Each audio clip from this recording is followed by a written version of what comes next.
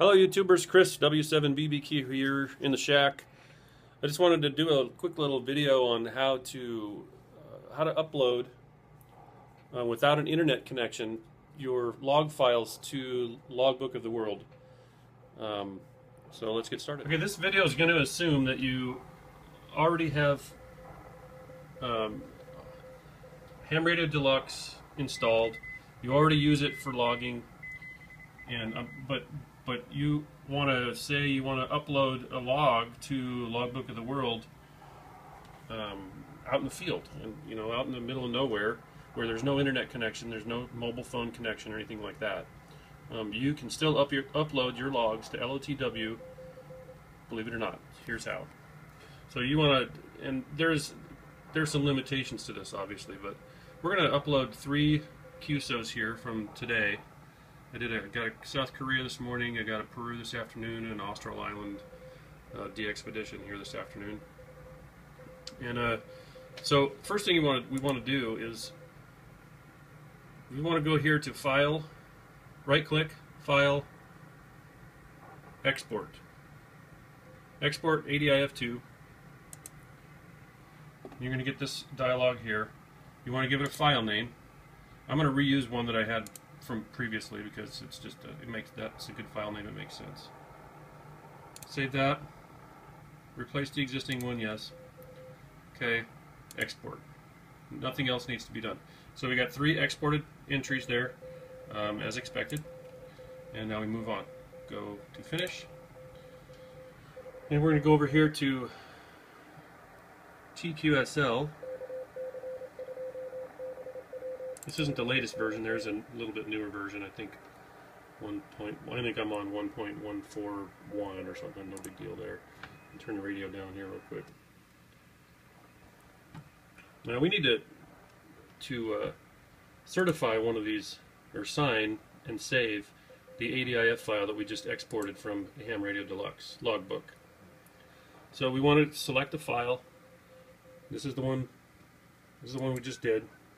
So we want to do that. You can double click on it or you can click the open button.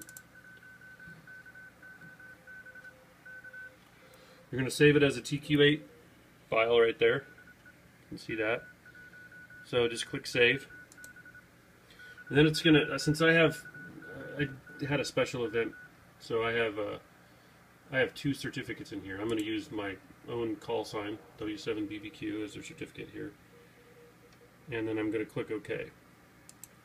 It's going to ask me if that's the correct information. I'm going to say yes. Um, date range, I'm going to skip this because it's not relevant for this upload. And then I'm going to enter my password.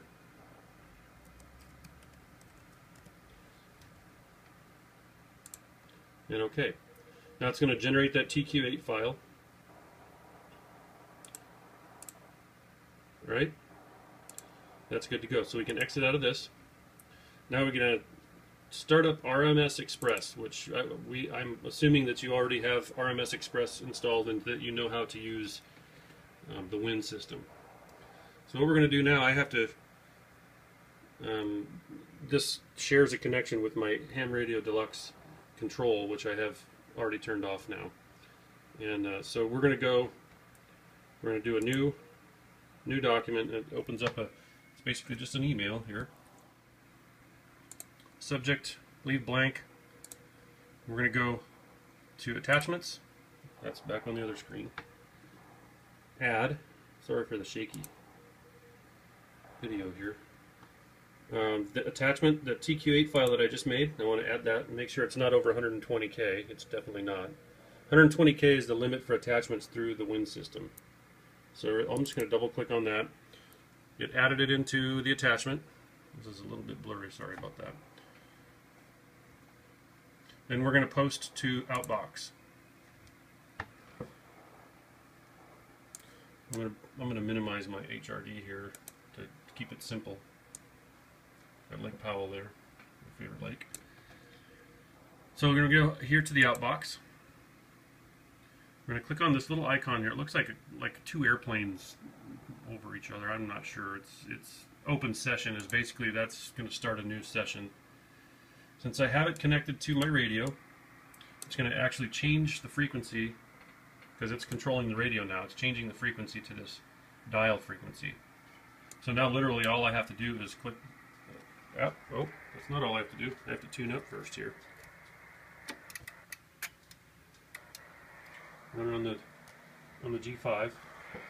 Switch over to my iPad here because my iPhone just ran out of memory. So where we left off was I was going to about to click the start button and we were going to watch this uh, this email send out with the attachment going to ARRL Logbook of the World. This is without an internet connection, mind you. So we're going to start. It's going to control the radio. And when I click the start button, you're going to hear the radio's transmitting. It's looking for it's looking for the server. When the server replies, there it is. There's the other radio with the email server connected to it. So it's now now shows connected to WL2K.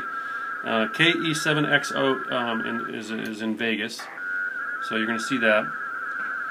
It's going to make a series of, of handshakes back and forth. The uh, program has to verify the message to make sure that it's not too big um, before it sends it. So now we're, we're talking back and forth, keying up the radio.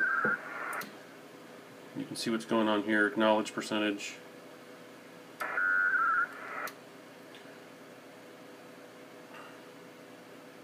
So now we're we're sending this message. We're going to start seeing a green bar going across the screen, and that's basically the percentage of the message that's been sent so far. So now it says it's sending. And when my when my radio is keyed up is when it's is when it sends some more data. So you can see uh, every time the radio keys up, which it's keyed up right now. Actually, yeah, we're only on 30 watts here, so gonna don't want to don't want to be too hot.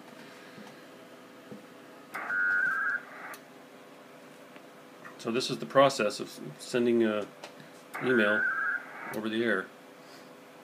And this isn't a very big email. It's a, it's a couple of kilobytes, but um, it's a little bit slower than say PacTor would be a little would be three times as fast or a little more than three times the speed of this. But um, this is what I this is without um, without a PacTor modem, which is a you know easily a thousand dollars or more just for the modem.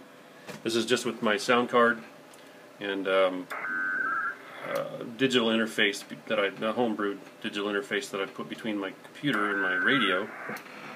Uh, but it could easily be done with a Rig Blaster or um, or a SignaLink also. So this has been a simulation. Uh, not this is not a simulation. Actually, this is the real thing. Sending this email to ARRL um, over the radio, and when this is done, there will be the final handshake and goodbye. See that's finished. You're going to have a new status down here. It's going to say completed or something like that. Completed. And then it's gonna they're both gonna say goodbye to each other and it's gonna be it. That's the end of it. Disconnecting. Now my it's just my radio it's saying its last goodbyes there and that is the server in Vegas saying its last goodbye. And that's it.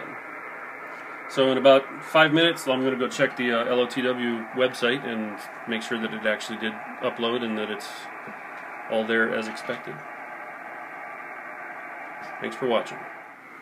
And there they are. And I actually have one that one that posted already confirmed QSL. So there's these top three right here are the three that we just posted, just uploaded uh, through the wind system um, using my radio without an internet connection. I hope you can learn to do the same thing and please post questions down below if you have any. Thanks for watching.